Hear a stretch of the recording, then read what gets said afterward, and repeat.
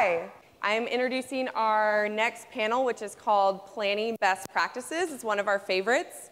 The overarching theme of this is that you know, Remix has is working with over 225 agencies, and we've learned a lot about planning and implementing transit from you all.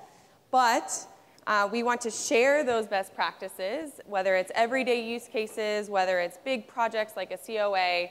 And so we have an all-star all-star panel today um, from representing three different transit agencies that are going to share their planning best practices inside and outside of Remix. So Stephen Hunt is going to be our first presenter. He is the principal planner over at Valley Regional Transit, the VRT, in Boise, Idaho. Uh, he's been working in the transit agency for 15 years, and he spent nine of those years at King County Metro in the Seattle region, where he helped implement their long-range transit plan. And if anyone knows anything about the Seattle region, we've been talking about a bit, bit about Seattle today, they have a lot of jurisdictions. So there's a lot of cat herding that was involved with that project. So please welcome Stephen to the stage.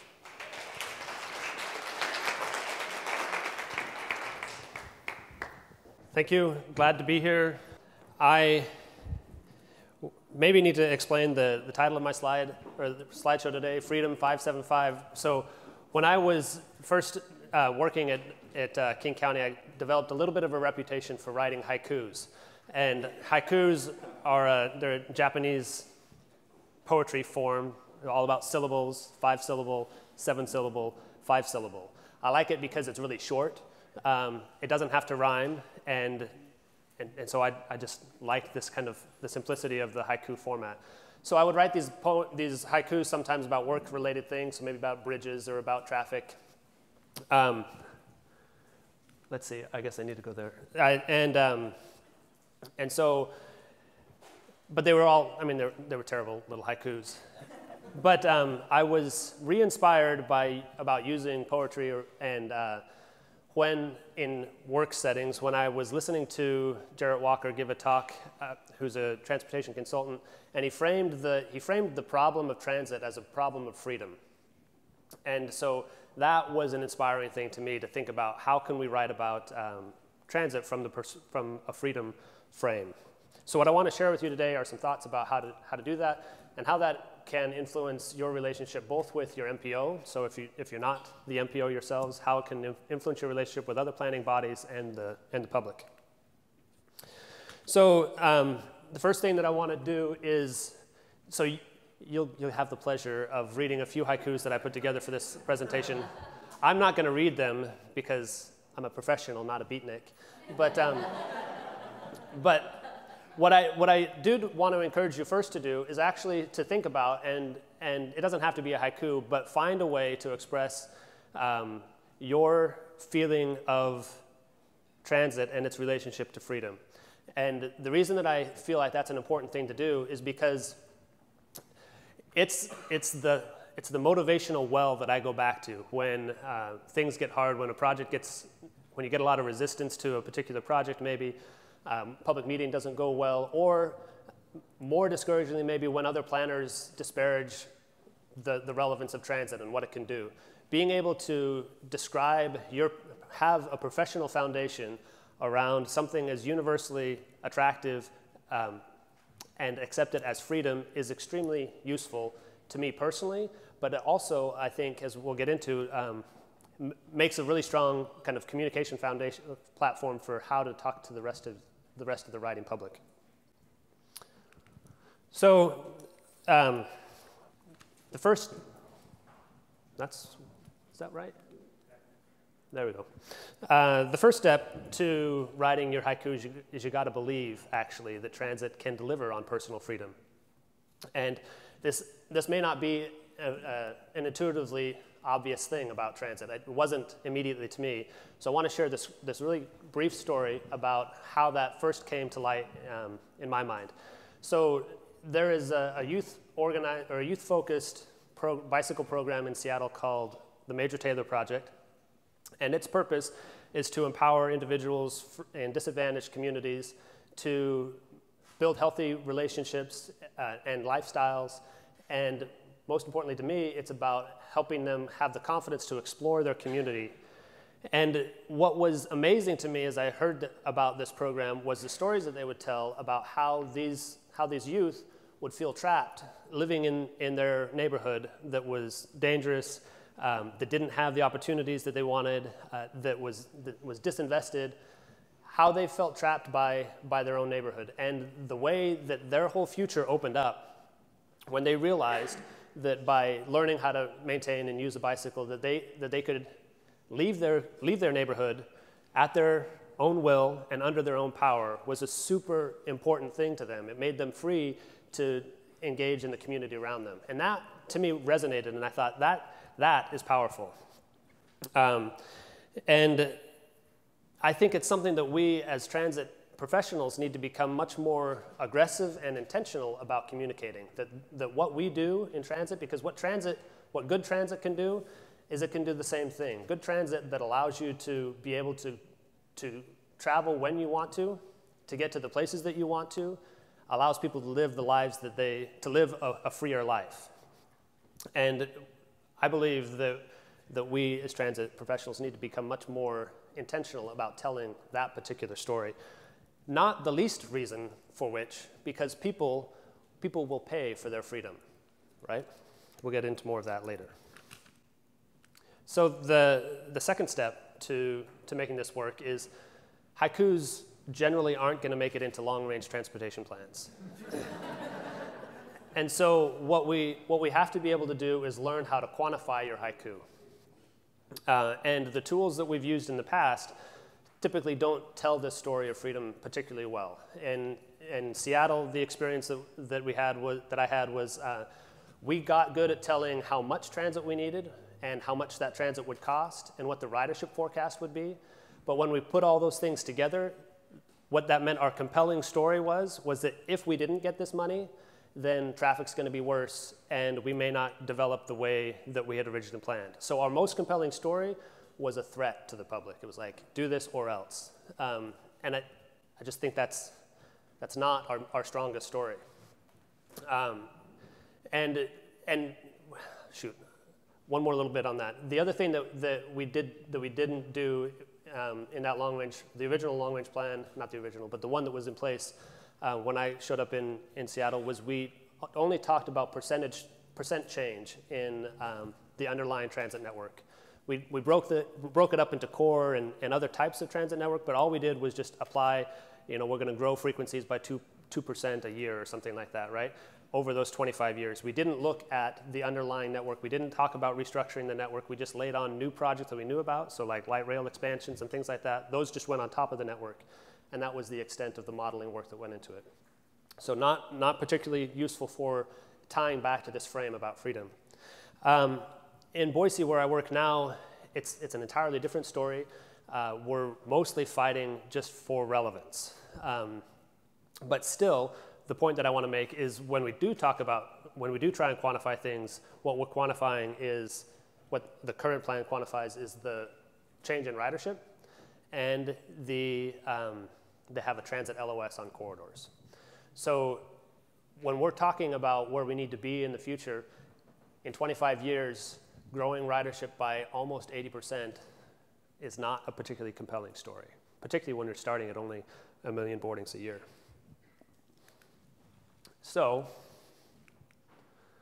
let me talk. So, what did we do? What did we do to address that? In Seattle, what we'd worked on was uh, we, we had to start with the network. Um, it became obvious to me when working with the MPO that what we needed to be able to do is we needed to be able to describe to the MPO where our transit service would be in 25 years. We had to do that. And the reason you have to do that is because the freedom that transit provides, which we can illustrate on the left, the freedom that that transit provides is entirely dictated by the shape of your network. Um, and so you can't actually tell this story about freedom without having to put the time into developing what that network looks like. So the first thing that we did was we said we need to do some strong network planning. And that's awesome because when you start talking about network planning, what you're talking about is why this route here, why that route there. And if, if you have the overarching goal, or I would say the overarching goal of any uh, network planning has to be getting more people to more places more often. Why? So that they can do more things. And that, that ties directly back to, your, to this concept about what you're doing is you are enhancing uh, public freedom. So we were very fortunate to be able to, to have the analytical tools to, be, uh, to guide our network planning through the use of accessibility analysis. So in addition to um, being able to look at the network and redesign the network, we were able to get information back out of that about how many people and how many jobs are accessible in, in 30, 45, 60 minutes for the entire region. Um, and that was, that was groundbreaking. And it, it really changed the way we were able to talk to the communities that we were serving. Uh, when we said, Redmond, we're going to not run service directly downtown anymore. You're, and we know you're interested in making that downtown connection, but here we can show you that you can still get downtown in a reasonable amount of time and look at all these other places that you can get to, right? So that was, that was uh, really helpful for both communicating what we were trying to do and guiding the development of that network as I was talking earlier, you get two planners in a room and you try and figure out what should you do. I'm sure this happens everywhere. You're going to have different ideas. And so what guides that? What guides the development of that network? And if you have something as overarching as this idea of more people, more places, more often, which is freedom, then um, it's super helpful. So in Boise, uh, again, it's a fight for relevance. We're, we're, just trying to say, look, we're important. Um, and being able to frame that, though, in terms of freedom really is helpful because the current, the current modeling, which is based on a, an extremely anemic system, when, when you try and apply those model forecasts into the future, you get still really bad ridership, even though it's a huge increase in, in cost. And so when we're talking about this cost benefit ratio, uh, we, need a different, we need a different metric and something that allows us to measure directly the value that the transit brings to a community um, and doesn't require your transportation modelers to, to change their assumptions because there's, there's well, because they won't. Um, and it's, and it's good for them not to, right? I mean, because there has to be reasons for it. And, and we, it's based, there's those, all those calibrations are based on existing observed behavior. The problem for us is when we've got a system that just runs from seven to seven, five days a week on an hourly headway, you, you put all those, those coefficients into the future and you say, yeah, ramp it up five times, and you get ridership that grows only 80%. And so trying to make an argument about why that's cost effective is extremely difficult. But being able to turn that around and say, well, I don't know what the ridership is going to be, but I can tell you what the accessibility change is. And, I, and that is the reason that that also is be, uh, helpful is because not only do you have now an objective tool, you also have a motivational story, right? You have a story that says, here, on the top slide there, that's a new development in Meridian that has no transit service to it at all. You can't get anywhere, and everybody kind of knows that. But you look at what transit can do, and you can, so, you can show that with investment, it can become a central hub to the entire Treasure Valley and connect all these different places. And that's a story that people can understand immediately. So I call this slide my pot of gold slide. So you can see maybe just a little bit in the corner there, there's a slight rainbow. This is um, Boise in the middle of the Treasure Valley. And the reason that I call this the pot of gold slide, not only because there's a rainbow, is because when we frame transit as this, the, the purpose of it is about expanding personal mobility, sorry, freedom, um, we, we can expand that to be a much more universal story. And today, people pay for their freedom when we look at um, the amount that people pay just in operating, operating their own vehicles, so this is the operation cost of driving, of all the people in the Treasure Valley driving their cars, so the gas, insurance, uh, repairs, all those things. Not the capital cost of buying the car, but just the operating costs. They spend about $1.5 billion to travel around, $1.5 billion. And we spend 1% of that on transit. So 15 million is our operating budget in the Treasure Valley. And this is to me, a really interesting slide because it does two things. It, it first explains why transit is so terrible in, um, in the Treasure Valley, and it also explains what's possible. Because we're talking about increasing transit five, six fold just to get to where we are, just to be comparable with our peers. And people are going to ask, where's that money coming from? That money is coming from money that we're already spending, that people are already spending on transportation. Um, and you can't expect to have $1.5 billion worth of freedom for only $15 million worth of investment. So it, it just provides you a way to, and, and the other thing that's important about that is that means this story has to be a universal story about freedom, right? It's has, it has to be, we're interested in getting as many different people. I don't care what your background is, where you're going, why you're going. I just want to help you get from where you are today to where you want to be um, in 30 minutes, right? And so um, that's, that to me is really powerful, particularly for a location that can't rely on its existing service as a justification for its existence um, or existing use. And how do you grow out of, how do you grow out of that? So takeaways, oh, they didn't show up. I'll leave up to you to tell me what the takeaways are. Um, but they are first, we got to be more intentional about using the freedom as a story for what transit is about. Second, we have to focus on network planning. That's got to be a core piece of what we do as transit planners is defining what that network looks like because that network defines the freedom that transit brings to a specific location. Third, you have to be able to model that network. You have to be able to model it because you need those, that kind of objective uh, reasoning for what, what you're about. And fourth, use accessibility as your measure because it's, it is the, the measure that most closely correlates with your message of freedom right? Ridership, who cares, really? Uh, but if you're able to show how many people and where this location can be connected to, now you're talking about something that somebody can relate to, like, oh, well, I live there and my job's there. That works for me, right? Um, and it, and uh, it, that shows more about what's possible rather than what, what is right now. And so now you can enter into whole lots of interesting conversations about how you prioritize roadways, all those kinds of things when you're able to show this is what's possible with the network that we have.